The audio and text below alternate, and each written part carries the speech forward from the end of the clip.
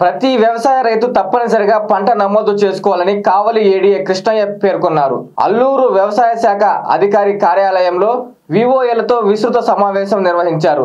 ఈ సందర్భంగా ఆయన మాట్లాడుతూ వివిధ గ్రామాల్లో వ్యవసాయ రైతులకు పూర్తి స్థాయిలో అవగాహన కల్పించాలని కోరారు.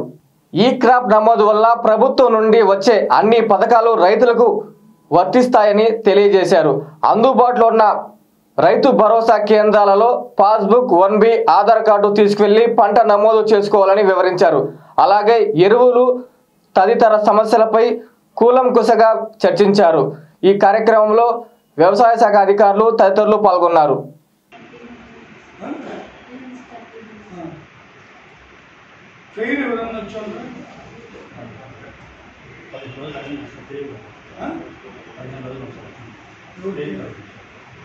ట్రైన్ వచ్చింది. నీకు ఒక్కడికి ఈ ఈ టెన్ డేస్ చూసుకుంటే టూ వీక్స్ వస్తాయి. అంటే టెన్ వీక్స్ వస్తాయి. ఇప్పటి నుంచి అయినా ఇమీడియట్గా ప్రతి ఆర్బీకేలో పొలంబడి ఫార్మర్స్ని కూర్చోబెట్టుకొని పెట్టి టాస్క్లో అప్లోడ్ చేయండి. కేవలం మీరు ఈ యాక్టివిటీస్ ఏమీ చేయకపోవటం వల్లనే అది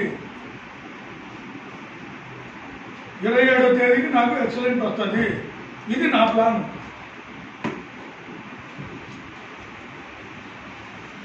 అంటే మేము పరిగెత్తుతున్నాం తప్ప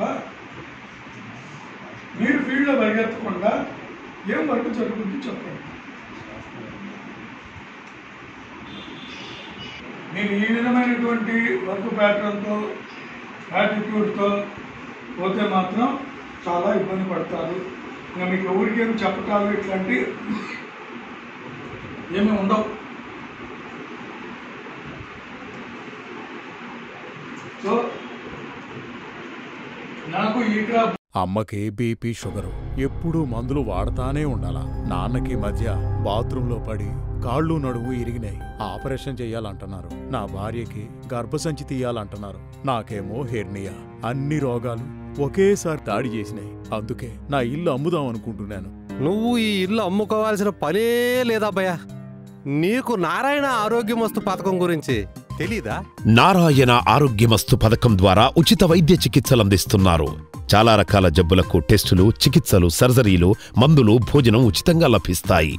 నారాయణ ఆరోగ్యమస్తు పథకం ద్వారా నారాయణ జనరల్ హాస్పిటల్ నందు జనవరి పద్దెనిమిది పంతొమ్మిది మరియు ఇరవయవ తేదీలలో ఇన్పేషెంట్లుగా చేరిన వారికి ప్రత్యేక ఉచిత వైద్య సేవలు. ఇక మీదట జబ్బులొస్తే డబ్బులతో పనే లేదు. నారాయణ ఆరోగ్యమస్తు పథకం ఉచితంగా వైద్యం. మీ ఆరోగ్యం ఇక భద్రం.